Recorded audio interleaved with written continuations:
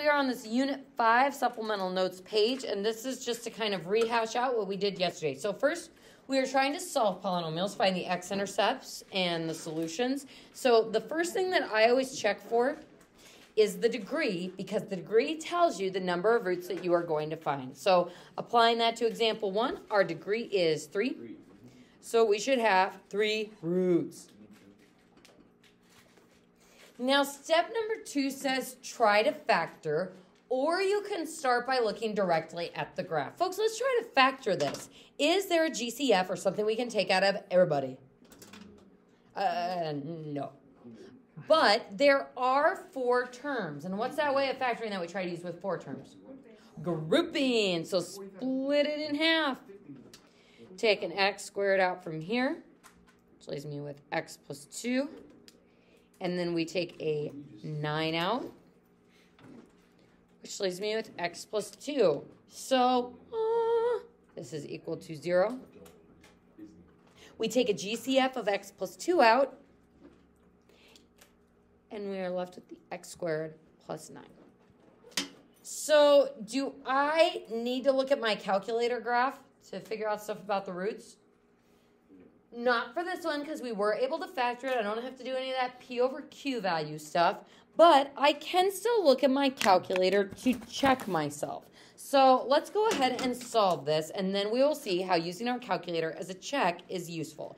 So first, now that I have something times something equals 0, we're going to set these equal to 0. So either x plus 2 equals 0, or x squared plus 9 equals 0. So x equals negative 2. x squared equals negative 9. How do I solve for x? Square root, square root. So x equals, what comes first after the equals? Plus or minus. So we have two possible solutions. How does that negative come out of the square root? As an i. And what about the square root of 9? 3i. 3. So 3i. So how many total solutions did we find? x equals negative 2 is 1. x equals positive 3i is 2. And x equals negative 3i is 3. So we have successfully found all three solutions. Now, I want you to draw a little line. And let's say that we weren't sure if we could factor this. So option two. Let's say we weren't able to factor this and we say, you know what? Can't factor it. I'm going to just look at the graph and see what that tells me. Go to your y equals, clear out any stuff that's in there, and we're going to type in that equation. x cubed plus 2x squared plus 9x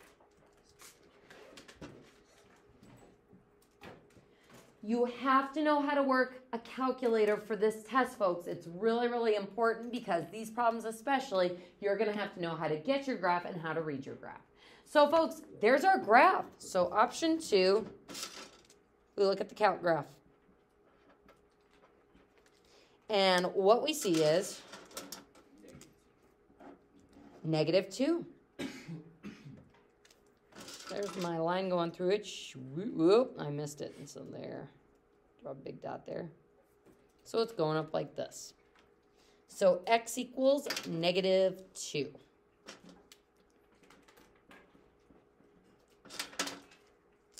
So that I can tell directly from my graph. The problem is we need to find those other two roots. So once we find x-intercepts, this is up at step three, we put them in the synthetic division box to break down the polynomial. Now, we started getting into kind of the conceptual side of this yesterday. If x equals negative 2 is a root, then what's the factor that gives me that root? x plus 2. So if I want to divide this polynomial by a known factor, which is x plus 2 a factor from what we did above, Yeah, so we definitely know that's a factor. If I want to divide by this factor, what goes in the box? Negative 2. So when you're dividing by a factor, you flip the sign. I think it's easier on these solving problems to just say, if I find a root, I'm putting it in the box.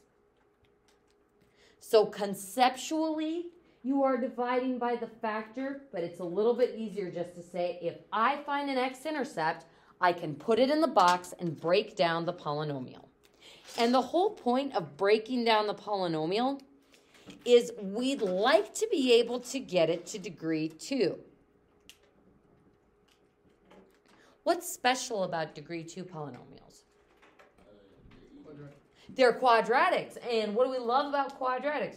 Factoring, quadratic formula, square root, square root. We are most comfortable with quadratics so if we can depress the polynomial or break it down to be a quadratic, we have lots of options for solving. So we're going to put negative 2 in the box. So listing out my coefficients, making sure I'm checking for any power placeholders. 3, 2, 1, constant, no placeholders necessary. 1, 2, 9, 18, and folks, when I'm dividing by a factor or putting the root in the box, what should my remainder be? Zero. If it's not zero, you goofed.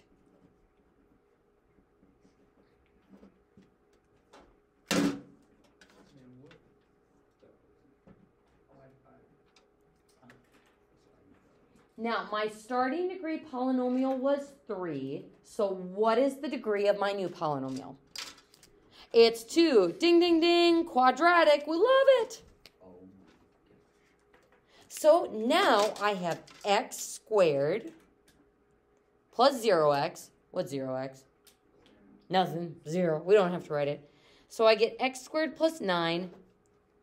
And now I need to solve this remaining factor. So I divide by a factor and I get x squared plus 9. Check it out, check it out we divide by a factor and we get another factor. There's x squared plus 9, just like we got above. So now, can I solve x squared plus 9 to get my other solutions? Yep. Subtract the 9, square root, square root. And once again, x equals plus or minus 3i. You have to do that last part. Do we what? You have to do that last part.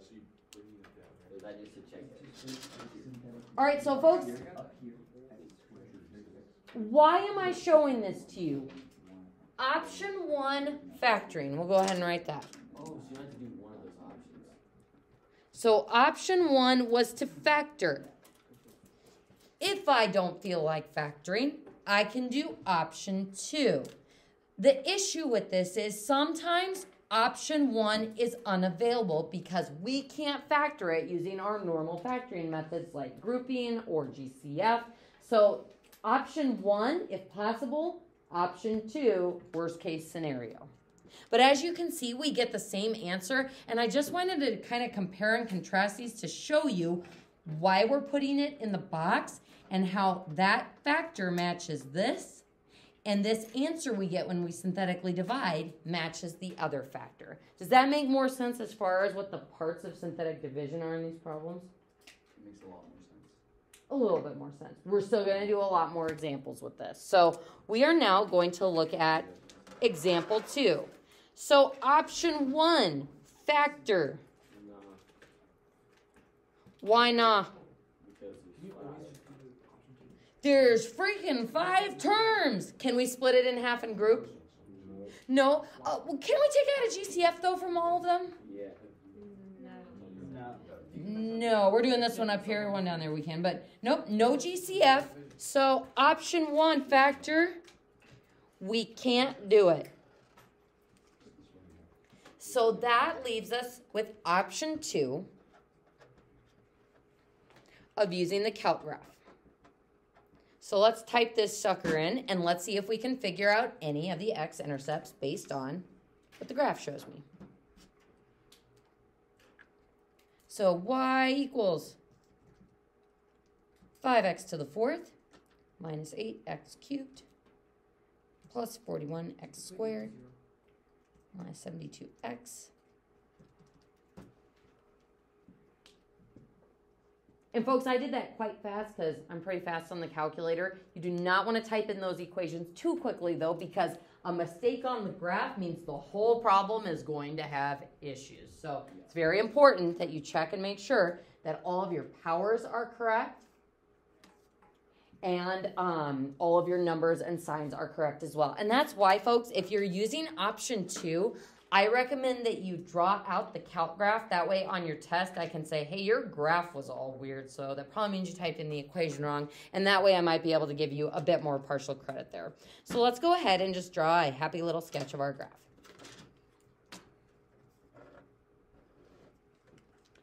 So it looks like we've got one x-intercept here-ish and another x-intercept here-ish.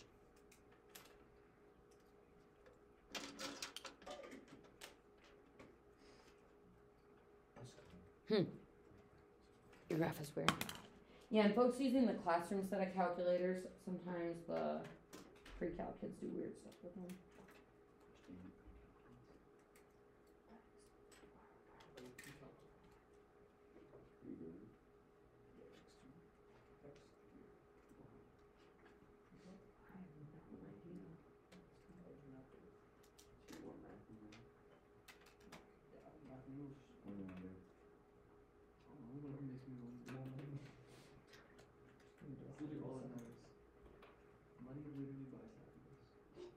I mean,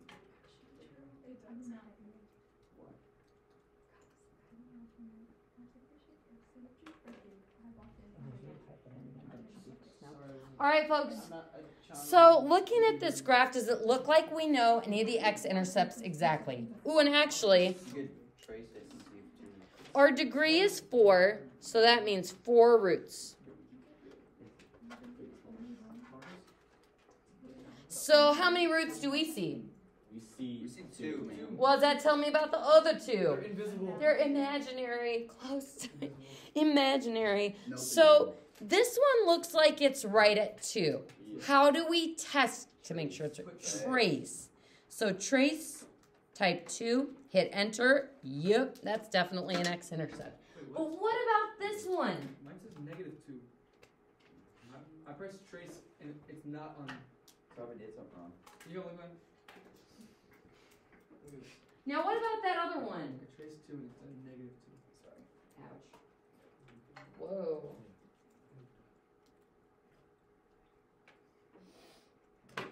You put 38 instead of 36 at the end. Oh, that's crazy. Thank you. All right, folks. So we know this one exactly. X equals 2 is definitely a root. So 2 is a root. What are we going to do with it? Put it in the box. So put it in the box to depress the polynomial or break it down into something smaller. Doesn't it have to be the opposite or something? No. So if we are dividing this, the factor would be x minus 2, and it's the factor sign that flips. The root sign remains. Root sign stays the same. So 5, negative 8. And that's a good thing to keep in mind, folks, because if you do goof and put negative 2 in the box, you won't get a remainder of 0. So that should be your red flag of maybe I shouldn't switch the sign. Oh my God, those are such big numbers. 5, 10, 2, 4, 45, 90, 18, 36. Woo! How'd you do it so fast? She's a math teacher. 'Cause she- This is true. Wait, how'd you get five? Oh, I, I forgot what that means. Wait, uh, um, 18 times 2 is no. Definitely also doing the math, not just copying the All right, folks. So, what's our new degree? Uh, Three? three? Three. Yes. Wait, how do you do that? Or is it one less than four? Yeah. mhm. Now, let's go ahead and just look at this degree three polynomial 5x cubed plus 2x squared is 45x plus 18. So I couldn't factor the original polynomial, but by breaking it down, is this something I can factor? Yeah. Absolutely, we can try at least. Grouping, split it in half, GCF of x squared. Wait, so that's not your final answer? No, because we need to find three more roots. So x plus 2, 9. No, five x. Oh, 5x. Yes, thank you. 5x. That's close. We almost didn't have a match. Bless you. So 5x plus 2.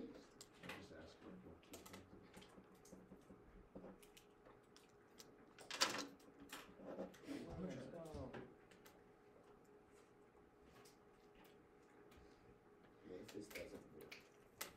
You mean what if we can't factor it? That's when P over Q values come into play. So we're going to run it through with factoring first, and then we'll show how the P over Q values work. So can I get my other three roots from this? Yeah. Yep, I got something times something equals zero. So set each of those equal to zero. So 5x plus 2. Zero.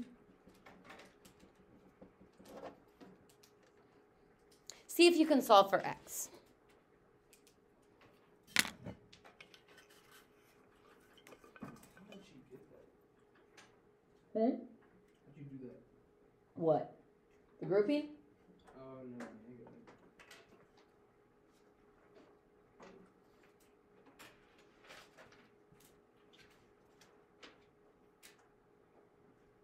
Also, it's supposed to start raining, I think, before after school. If anyone's walking home, I do have spare umbrellas in the cupboard if anybody needs it. Oh, you're so nice. Because I know you guys are too cool to carry umbrellas.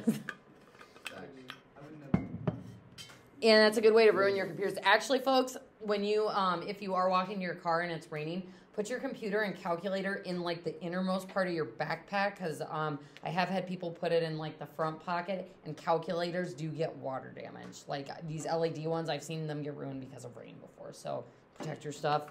Make a, make a run for it. Or if you want to leave your calculator uh, charging in my dock overnight, you are welcome to do that. We can use a sharpie to put your name on it. All right, folks. So what are we getting for one of the x-intercepts? Uh, Negative X equals two plus What? Come again? X equals negative two fifths. X equals plus or minus three i. And then move that nine over. Squared equals negative nine. Square root, square root. I got this. X equals plus or minus 3i. Why 3i? Because we're square rooting a negative and because 9 is a perfect square. The square root of 9 is 3. So, folks, how many roots did we find? Three. Total. Four. We've got one, two. Those are the real ones, and then the two imaginary ones. And folks, this is important. Let's go ahead and trace negative 2 divided by 5. Boom. We get 0. It is an x-intercept. So your calculator graph is key for checking those real solutions. How are we doing with that? I mean, it makes sense a little bit more. Now, Duke asked a good question because he's like, what happens if this doesn't work? What happens if I have a D degree three and we can't factor?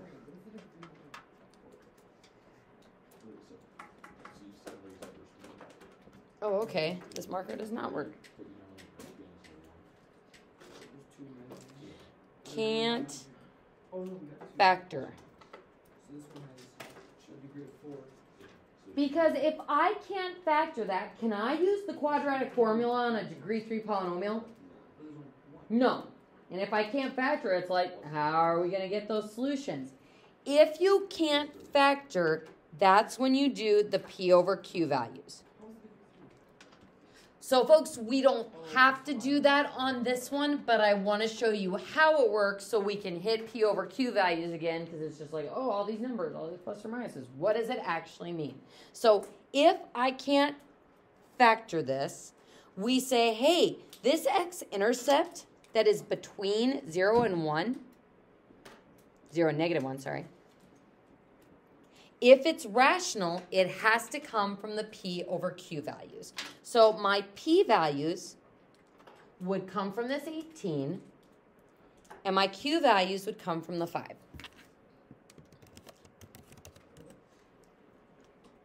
So we list all, which would be plus or minus 1, 2, 3, 4, no, 5, no, 6, 9, and 18 Wait, what do we use factor those? of 18. So if we couldn't factor this degree 3 polynomial, we would do p over q values for Why'd it. you do eighteen? And P is the last number and Q. P is your constant, the last number. Q is your leading coefficient. So you're like five over five and one. So Q values would be 1 and 5. So those are the P values and the Q values. But the values that we actually care about are the P over Q values. So we're going to take every P value divided by every Q value. And folks, those plus or minuses are vital. I'm going to be looking for those on the test. So I'm going to take each of these values divided by 1. So 1, 2, 3, 6, 9, 18. Sweet. Then I'm going to take each of those values divided by 5. 1 fifth, 2 fifths, 3 fifths, 6 fifths, 9 fifths, yuck, and 18 fifths. So, what these values say is if that negative 2 fifths that we were trying to find is rational, it has to come from that set of numbers. So, folks, we're going to pretend like all we know is that x is between 0 and negative 1. So, I couldn't factor, we're going to pretend, and I'm trying to find that x intercept. How many fractions are between 0 and negative 1? An infinite amount. So we have just taken an infinite amount of fractions and narrowed it down to this set of numbers. So, is that root positive or negative? Negative. Negative. So that cancels out the positive as a possibility. Is it going to be one of these whole numbers, negative 1, negative 2, negative 3, negative 6, negative 9, or negative 18? No, because we clearly see that it's not on the money, not on a tick mark. So then we want to start looking at these fractions. Which of these fractions are between 0 and negative 1? Four fifth, two fifths. The first three. Oh. Because this would be one. this would be negative 1 and 1 fifth. This would be 1 and 4 fifths. So these are the only ones that are less than 1 that are in that tick mark range. So folks, if I needed to figure out this root, I can hit trace to test these. So I want you to write trace to test viable options. The only ones that you can test all of them if you want, but we want to try negative one fifth. Is that the x intercept? No. Negative two fifths. Oh, there Oh it my is. Dude, no way, bro. Yo. Almost like, I mean, So, folks, now we have found that root. Wait, how do you find the imaginary one? So that's where we go to next. Oh my god, we're so nuts. So, as you can see, factoring is the better option, right? We only want to do this if we are desperate. Similar to how in Unit 4, it's like if you can factor, don't use the quadratic formula. But sometimes you have no choice, and the quadratic formula is the only way to find your solutions. So, folks, we've got the negative 2 fifths now that we could have gotten from factoring. But how are we going to use this to find the imaginary solutions? Once we find an x-intercept, put it in the box. Oh my god. This is like So negative 2 fifths in the box. And now I'm going to take that cubic function, that degree 3, and do 5, 2, 45, and 18. So these numbers are coming from that equation. Yeah?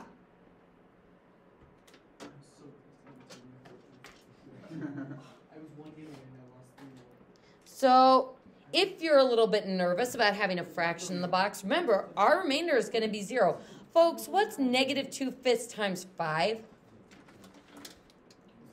The divided by 5 and the 5 cancel, and you are left with negative 2.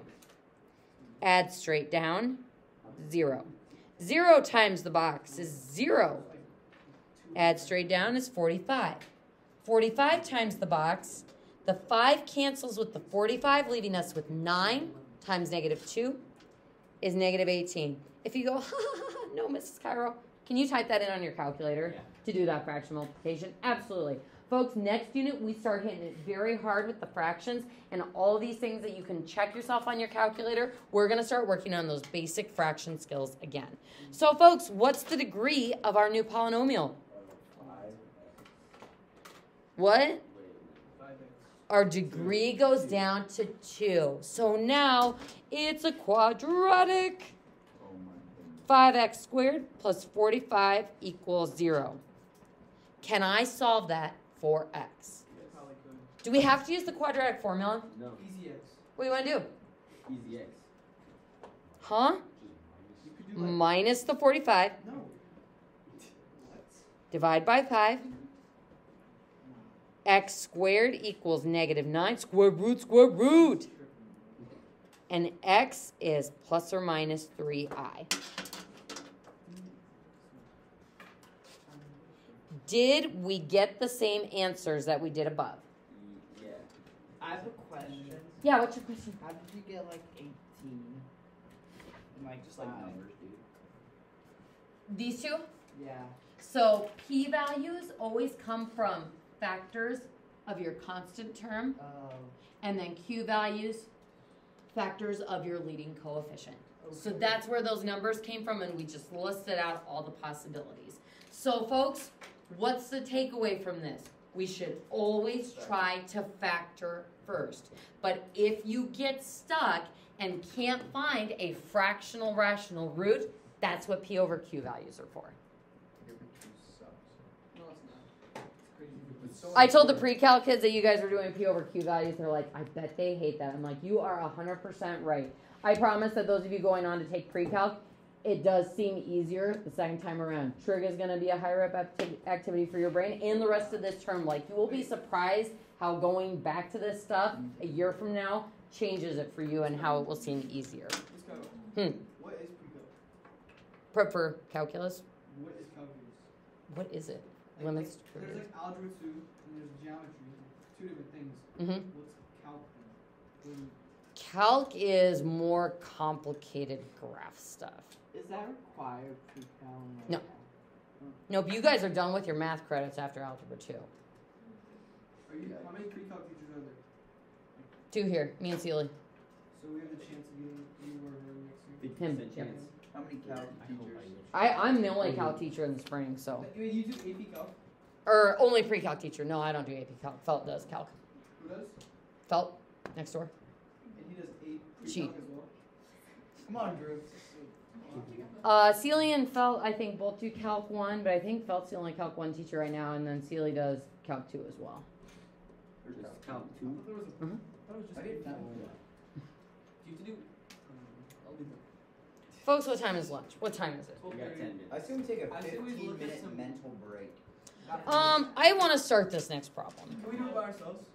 No. No. Give us like five I minutes. mean, Give us like five minutes. let's just start with the basics. We look at this problem and we say degree is 4. How many roots are we looking for?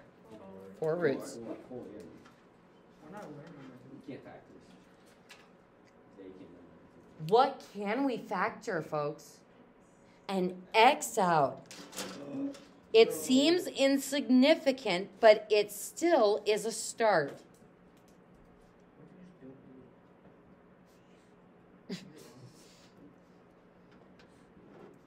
So x equals 0 is our first root. Hmm?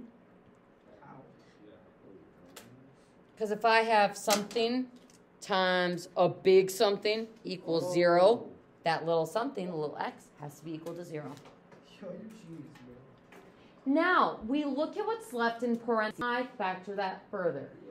We we can try. So there's four terms, so we can try to group it. So let's see. X squared 5x minus 29.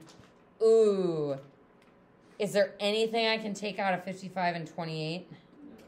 Uh, I mean, I guess we could take one out, but that's just going to leave me with 55x minus 28. And when those two things are not the same, when we can't take out the full GCF, yeah, we can't factor it. But that doesn't mean there are no solutions. It doesn't even necessarily mean that it's prime. It just means our normal factoring strategies are not going to work here. So before we go, oh no, P over Q, before we do that, we are going to look at the graph and just see what we're working with here because maybe we'll be able to find something on the graph. So clear out your equation. So graph next. So try to factor, look at the graph. And folks, we're going to go back to the original equation. 5x to the fourth.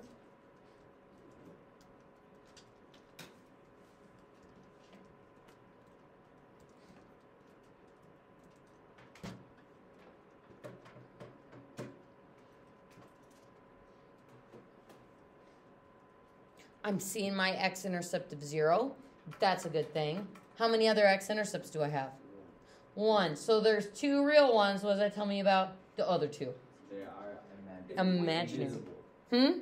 Point eight. Po- What? Type in trace point eight.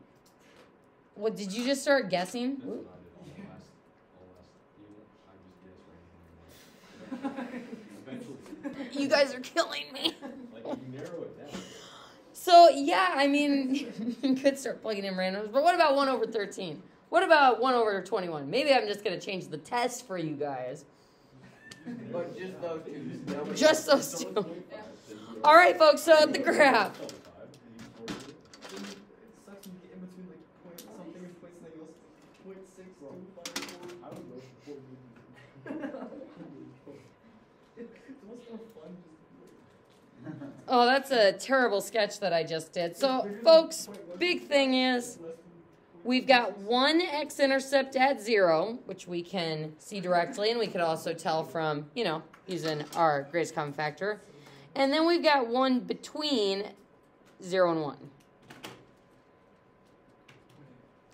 If that is rational, it's gonna have to come from the P over Q values. So we're gonna use the P over Q values of this unfactorable nonsense, this business right here. So this is our new green. So P values, Q values. So folks, I'm gonna turn you loose on this part. See if you can list the P over Q values. Wait, which which which um problem do we use? Is the original one or the The point where we get stuck, the point where we can't factor it. That's the equation we use. Good question. So find the p values, the q values, then the p over q values.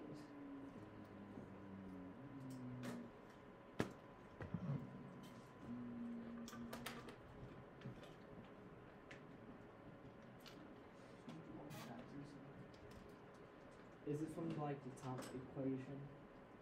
Yes. I mean, do you have to do negative twenty? If it's negative, negative numbers? So that's a good question. So the p value is negative. Folks, this is why we have the plus or minus in front. It accounts for the positive and negative factors of all of those. So check yourself because that little detail importante. So smart, dude. Literally. So small. Literally not me.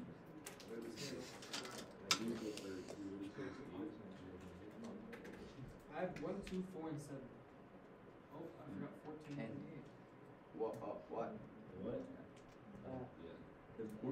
If you are struggling with finding all the p over q values, folks, I just start dividing by integers. So if I want to find all the factors of 28, can I divide it by 1? Yeah. 2? Yes. 3? No. 4? Yeah. 5? No. 6? No. 7? Yeah. And if you're like, how am I supposed to know yes or no? You can try it on your calculator. If you're not so great with factor trees, you can use your calculator to check yourself. But also notice you should have factor pairs. 4 times 7 is 28, 2 times 14 is 28, and 1 and 28 is 28. Sometimes students forget the number itself or they forget 1, so word to the wise. So then our P over Q values. Take all those P values and divide it by 1. So all those numbers again. And then we take all those numbers divided by 5 and we get a whole mess of fractions. 1 fifth, 2 fifths, red fish, blue fish. I see what you did there. Thank you. Thanks for letting us know. I think it's four Why fifths. you called you? Hmm? I think it's four fifths. How did you come to that conclusion? It's not four fifths. I checked. It literally is. For me, it's not. So maybe check how you have it typed in on your calculator. So, folks, when we go to narrow this down, is it going to be a positive or a negative? It's gonna be a positive. Between 0 and 1, so positive, so forget the negatives. Um, all those whole numbers, no, it's not going to work. So we only want fractions between 0 and 1, which is going to be the first three again. So test with trace. 1 divided by 5. Nope, that's not the x-intercept. 2 divided by 5. Nope. 4 divided by 5. Bam. Wait, wait, There wait. it is. Did you check the first guy. What? In the very beginning, couldn't you just do like every single number divided by five? Because that's the, that would be the Q value, and you eventually just find it. Yeah, you could do it that way. I mean, that's what P over Q values are. But like you wouldn't have to do anything else. Like you could just start with P over Q. You can if you want, That would be easy. but then you're still going to have to depress the polynomial to find the imaginary ones. So P over Q values, folks, that is going to find any rational roots. But how many roots does this have? Four. Four. So how are we going to find the other ones? Ready for this. Synthetic division. We got to do synthetic division. So we're going to put zero in the box first. Respect. Wait, what? The one x equals zero. That's weird. How did we figure out that x equals zero? Because we took out a GCF, zero prod prop. Wait, how come we're What? Okay. What if you don't? We're going to do four fifths too. Oh, you have to do both. Yep, we're going to have to do both.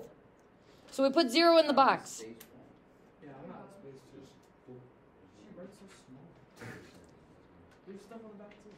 Yeah, we have that in the back. Um, you can use your guided practice back, the blue packet. Oh, you're so smart. Literally genius. Literally, We're gonna do something else there too. So literally. Well, just So 55. We got five minutes.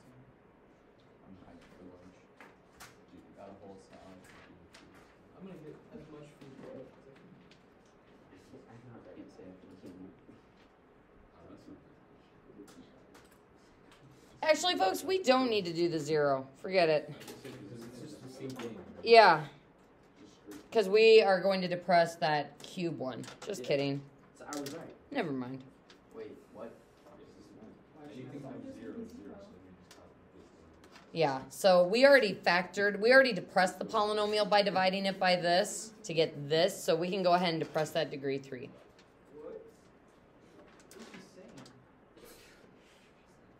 We're not gonna need to do zero because we already divided this by that factor to depress the polynomial down to a degree three. So now that we've got this degree three, we're gonna use four fifths to take it down to a degree two. Folks, I'm gonna turn you loose. Synthetically divide, get that remainder of zero, experiment with multiplying fractions. Can you do what's twenty?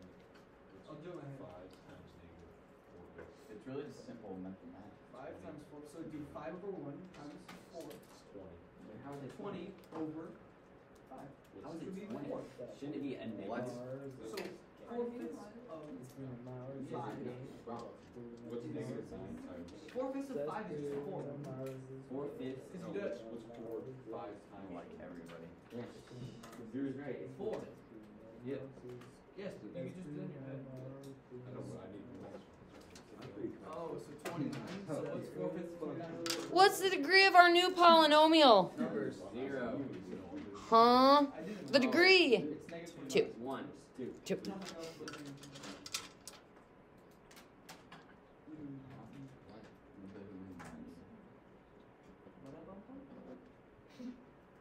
Can we square root square root to solve this? Why not? This is X. Yeah, there's this x, so we can't isolate the x squared because there's that x there with it. Can we factor it? Yeah, we can do that one thing across there, right? Let's not do the cross thing yet. Can we do something else to factor it?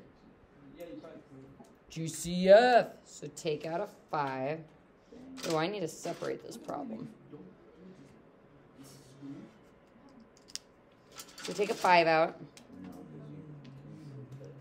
We get x squared minus 5x. You gonna see?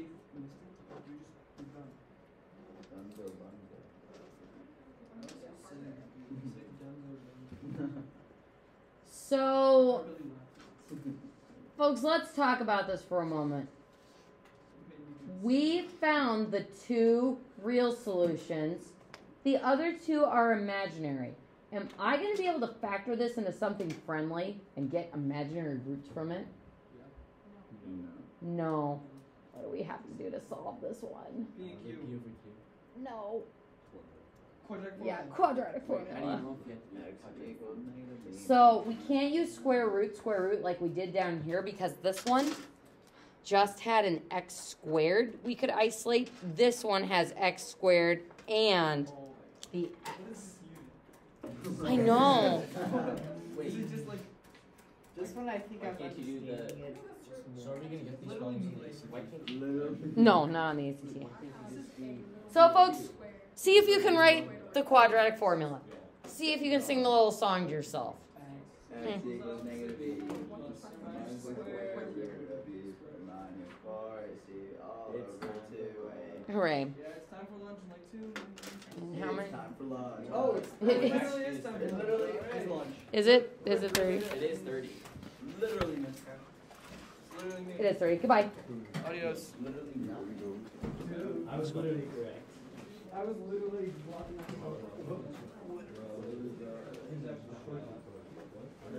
Have a wonderful lunch break. I already ate my lunch. Now I'm sad. I don't really get to eat lunch. Oh, yeah, you're still trying to make weight.